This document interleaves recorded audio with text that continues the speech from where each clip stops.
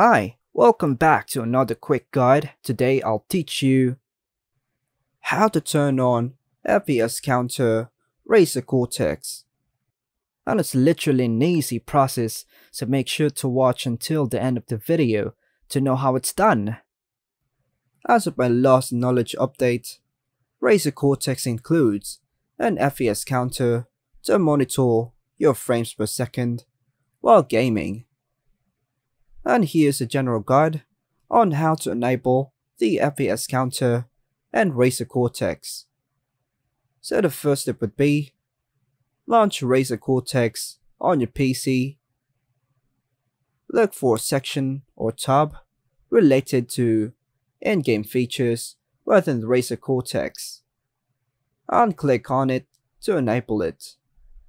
This is where you can find the FPS counter settings.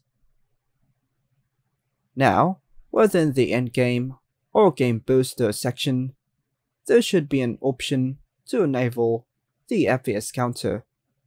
Look for a setting that mentions FPS counter or similar. It might be labeled as show FPS or FPS only. Make sure it is enabled. Now, some versions of Razer Cortex allow you to customize the position of the FPS counter on your screen. If available, look for options to adjust its position on your preferred position.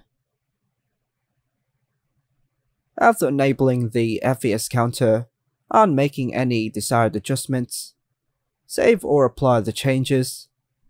This might involve clicking a save or apply button. Start the game using Razer Cortex to see the FPS counter in action. The counter is usually displayed on the screen while gaming. And that's all for now folks. Hope you like and subscribe. Thank you.